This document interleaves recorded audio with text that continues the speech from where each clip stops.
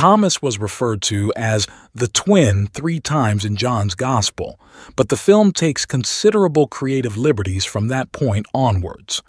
Consequently, Clarence possesses a deep familiarity with the work of Jesus.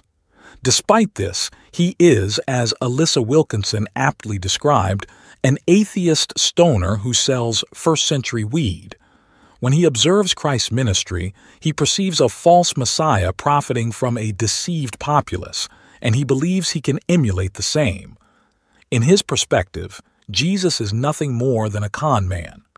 For a while, Clarence's deception proves successful. However, he eventually learns the harsh reality that the Romans do not tolerate aspiring messiahs, leading his story to take a dramatic turn from that point onward. Samuel responded by explaining the process of getting this movie made when asked about it.